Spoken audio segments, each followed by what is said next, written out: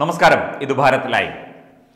കാക്കനാട് കഴിഞ്ഞ ദിവസം നടന്ന സാമ്പത്തിക ജിഹാദ് അതിക്രമത്തിന്റെ അക്രമത്തിന്റെ പുതിയ വിശദാംശങ്ങളും പുതിയ സൂചനകളും പുറത്തു വന്നിരിക്കുന്നു.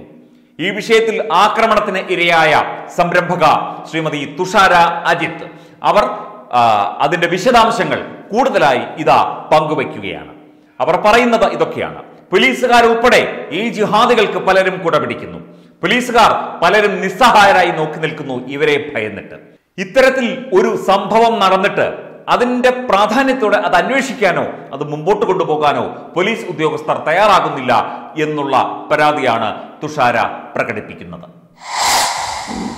സന്തോഷം ഇത്രയും പ്രശ്നങ്ങൾ ഇവിടെ കാരണം അയാളാണ് ഈ ജിഹാദികൾക്ക് ഈ കൊട പിടിക്കുന്നത് അയാളോട് പലതവണയും ഞാൻ ചെന്ന് പറഞ്ഞിട്ടുള്ളതാണ് ഈ പോത്തിറച്ചിയുടെ വിഷയത്തിനെ പറ്റിയാണ് അവർ ഈ കട തുടങ്ങാൻ സമ്മതിക്കാത്തത്.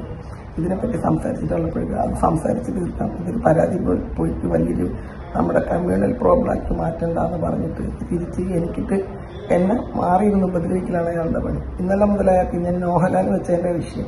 അതിന്റെ വീഡിയോ അടക്കം നമ്മുടെ കയ്യിലുണ്ട്. പിന്നെ എന്നെ പിറകിൽ വെച്ച് അതായത് ക്യാമറ വിശ്വസില്ലാത്ത ഭാഗത്ത് വെച്ചവന്മാരെന്നെ തല്ലി. അവിടെ നിന്ന് തിരിച്ചു വന്നിട്ട് എന്നെ വൃത്തിയോട് പറഞ്ഞപ്പോഴാണ് തിരിച്ച് അങ്ങോട്ടും ഇങ്ങോട്ടും വഴക്കാണ് എന്നെ തല്ലിയപ്പോൾ എന്റെ കൂടെ നിന്നും അവനെ വെട്ടി. അത്രയേ ഉള്ളൂ. അത് അങ്ങനെ എന്നെ പൊയ്ക്കോട്ടെ അതിനൊന്നും ഒരു ഇതുമില്ല. പക്ഷെ ഇങ്ങോട്ട് കിട്ടിയാൽ അങ്ങോട്ടും കൊടുക്കും പിന്നെ ഇതിൽ കേസല്ലേ? അവന്മാർ ചെയ്യാന്നുള്ള എല്ലാ കേസുകളും വരട്ടെ. ഒരു സി എ വിചാരിച്ചു കഴിഞ്ഞാൽ മാറ്റുന്ന കാര്യങ്ങളല്ലേ നമുക്കുള്ളൂ. ഏഹ് അപ്പം ഇത് ഓരോ ഹിന്ദുക്കളും മനസ്സിലാക്കട്ടെ.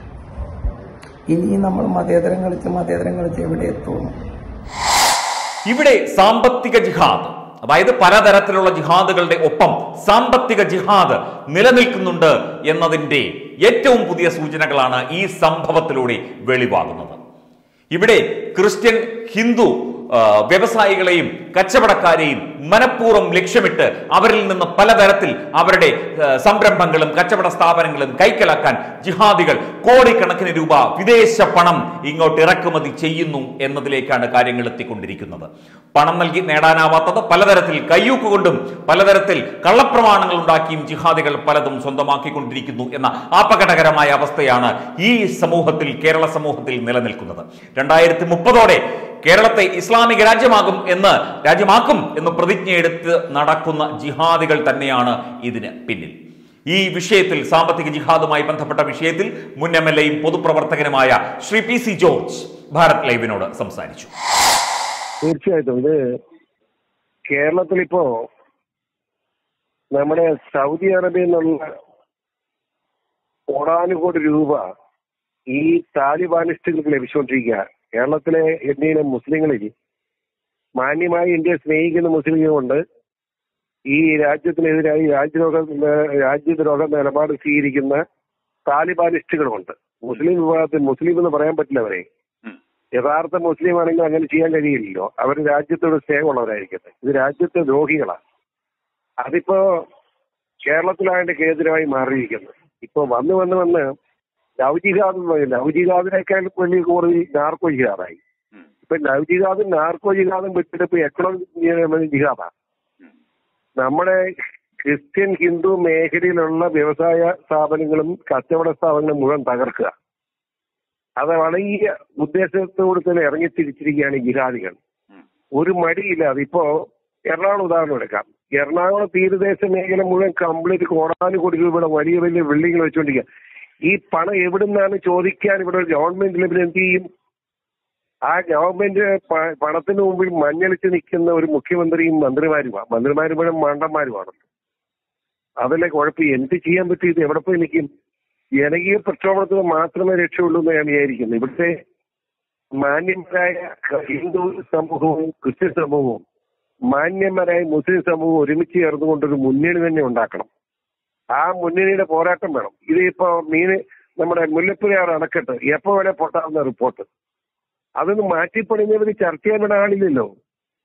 ഞാനത് അത് പൊട്ടാൻ സാധ്യതയുണ്ടത് മാറ്റി പണിയണമെന്ന് പറഞ്ഞപ്പോൾ എന്റെ പേര് കേസെടുക്കുന്ന കാര്യം ചർച്ച ചെയ്യുന്ന തമാശക്കാരനായി മുഖ്യമന്ത്രി. പിന്നെ എങ്ങനെ നന്നായാൽ? ഏതായാലും വലിയ ദുഃഖകരമായ അന്തരീക്ഷമാണ് കേരളത്തിലുള്ളത്. നമുക്ക് ആലോചിച്ച് പ്രവർത്തിച്ചില്ലെങ്കിൽ നമ്മൾ നമ്മുടെ അടുത്ത തലമുറ നമ്മളെ കുറ്റപ്പെടുത്തും എന്നാണ് എനിക്ക് പറയാനുള്ളത്. ഇവിടെ സാമ്പത്തിക ജിഹാദ് താണ്ഡവ നൃത്തമാടുകയാണ് കേരളത്തിൽ. എറണാകുളത്ത് കാക്കനാട് കേന്ദ്രീകരിച്ച് പ്രവർത്തിക്കുന്ന ചിൽസെ എന്ന ഒരു ഫുഡ് ഹബ്ബ് അതായത് റെസ്റ്റോറന്റുകളുടെ ഒരു കൂട്ടായ്മ. നേരത്തെ വാർത്തയിൽ സൂചിപ്പിച്ച ശ്രീമതി തുഷാരയുമായി ചേർന്ന് പ്രവർത്തിക്കുന്ന ജയശ്രീ എന്ന സംരംഭകയുടെ സംരംഭമാണ് ഇത്. അവർ എൻ ആർ ഐ ആണ്. വിദേശത്ത് ജോലി ചെയ്ത് ഇതുപോലെ പണം സമ്പാദിച്ച് പാവം ഒരു ഫുഡ് ഹബ്ബ് തുടങ്ങിയതാണ്. അപ്പോൾ ഇത് തട്ടിയെടുക്കാനായിട്ട് കഴിഞ്ഞ ഏതാനും മാസങ്ങളായി ചില ജിഹാദികൾ പലതരത്തിൽ ഇവരെ സമീപിക്കുകയും ഭീഷണിപ്പെടുത്തുകയും ഇവർക്കെതിരെ പലതരത്തിലുള്ള നടപടികളുമായി ദുർനടപടികളുമായി മുമ്പോട്ട് വരികയും ഒക്കെ ചെയ്ത കഥ അറിയാൻ സാധിച്ചു. എന്തായാലും ഇതൊക്കെ തന്നെ ഈ സാമ്പത്തിക ജിഹാദിന്റെ ഭാഗമാണ്. വളരെ അപകടകരമായ അവസ്ഥയിലേക്കാണ് കാര്യങ്ങൾ പോകുന്നത്. ഇവിടെ രാഷ്ട്രീയ പാർട്ടികൾക്കൊന്നും ചെയ്യാൻ കഴിയുന്നില്ല. ഈ വിഷയത്തിൽ കഴിഞ്ഞ ദിവസം ഈ കാക്കനാട്ടുണ്ടായ ഈ വിഷയത്തിൽ ഇത് സംബന്ധിച്ച് ഒരു പാർട്ടി നേതാവിനെ എറണാകുളം ജില്ലയിൽ തന്നെയുള്ള ഒരു ഏരിയ സെക്രട്ടറിയെ സമീപിച്ചപ്പോൾ ഞങ്ങൾ എന്ത് ചെയ്യാനാണ്? ഇത് എല്ലായിടത്തും നടക്കുന്ന വിഷയമാണ്. എറണാകുളത്ത് മുഴുവൻ ഇത്തരത്തിലുള്ള കാര്യങ്ങളാണ് നടന്നുകൊണ്ടിരിക്കുന്നത്. ഒരു പാർട്ടി എന്നുള്ള നിലയ്ക്ക് ഒന്നും ചെയ്യാൻ പറ്റില്ല എന്ന് പറഞ്ഞ് പാർട്ടി സഖാവ് കൈമലർത്തുന്ന കാഴ്ചയും കണ്ടു എന്ന് ഇതുമായി ബന്ധപ്പെട്ട ചിലർ നമ്മളെ വിളിച്ച് അറിയിച്ചിട്ടുണ്ട്. എന്തായാലും വളരെ അപകടകരമായ അവസ്ഥയിലൂടെയാണ് കേരളം കടന്നുപോകുന്നത് എന്നതാണ് ഇതിൽ നിന്നൊക്കെ മനസ്സിലാകുന്നത്. തീർച്ചയായും ഈ വിഷയത്തിൽ കേന്ദ്ര ഏജൻസികൾ എൻ എൻഫോഴ്സ്മെന്റ് ഡയറക്ടറേറ്റ് തുടങ്ങിയ കേന്ദ്ര ഏജൻസികൾ ഈ വിഷയത്തിൽ അന്വേഷണം നടത്തണം എന്നാണ് മനസ്സിലാക്കുന്നത് ഈ വിഷയത്തിൽ നിരവധി പേർ കേന്ദ്ര ആഭ്യന്തരമന്ത്രി അമിത്ഷായ്ക്കും സുരക്ഷാ ഉപദേഷ്ടാവ് അജിത് ഡോവലിനും പരാതി അയച്ചിട്ടുണ്ട്. ഈ വിഷയത്തിൽ ശക്തമായ നടപടി കേന്ദ്രത്തിന്റെ ഭാഗത്തു നിന്ന് ഉണ്ടാകും എന്ന് തന്നെയാണ് നമ്മളും പ്രതീക്ഷിക്കുന്നത്. പ്രിയപ്പെട്ടവരെ പിന്നെ ഒരു കാര്യം. ഇത്തരത്തിൽ ഉള്ള ജിഹാദികളുടെ ആക്രമണങ്ങൾ അതായത് സാമ്പത്തിക ജിഹാദുമായി ബന്ധപ്പെട്ട ആരുടെയെങ്കിലും സ്ഥാപനം തട്ടിയെടുക്കാനോ ഇത്തരത്തിൽ ഭീഷണിപ്പെടുത്തി പ്രശ്നങ്ങൾ ഉണ്ടാക്കാനോ ആരെങ്കിലും ശ്രമിച്ചതായി പ്രേക്ഷകർക്ക് ആർക്കെങ്കിലും അനുഭവമോ? നിങ്ങളുടെ സമീപ പ്രദേശത്തോ അങ്ങനെ എന്തെങ്കിലും കാര്യം തോന്നിക്കഴിഞ്ഞാൽ തീർച്ചയായിട്ടും ഞങ്ങളുടെ ടിക്കറിലൂടെ പോകുന്ന താഴെ കാണുന്ന ഭാരത് ലൈവിന്റെ ഒഫീഷ്യൽ നമ്പറിൽ വിളിച്ച് നിങ്ങൾക്ക് കാര്യങ്ങൾ പറയാവുന്നതാണ്. അതിന്റെ വിശദാംശങ്ങൾ അന്വേഷിച്ച ശേഷം അതിന്റെ മറ്റ് നടപടിക്രമങ്ങളിലേക്ക് കടക്കുന്നതിനും വാർത്തകൾ കൊടുക്കുന്നതിനും അതുപോലെ തന്നെ ഇത് കേന്ദ്ര ഏജൻസികളുടെ ശ്രദ്ധയിൽപ്പെടുത്തുന്നതിനും ഞങ്ങളെ കൊണ്ടാവും വിധം ഞങ്ങളും ശ്രമിക്കുന്നതാണ്. തീർച്ചയായിട്ടും അതിന് ഒരു മടിയും വിചാരിക്കേണ്ട എന്ന കാര്യം കൂടി ഈ ഒരു അവസരത്തിൽ പ്രിയപ്പെട്ട പ്രേക്ഷകരോട് പറയുകയാണ്.